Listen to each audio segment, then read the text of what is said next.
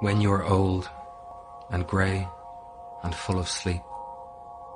and nodding by the fire, take down this book and slowly read and dream of the soft look your eyes had once and of their shadows deep. How many loved your moments of glad grace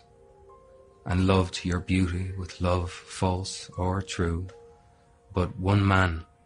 loved the pilgrim soul in you and love to the sorrows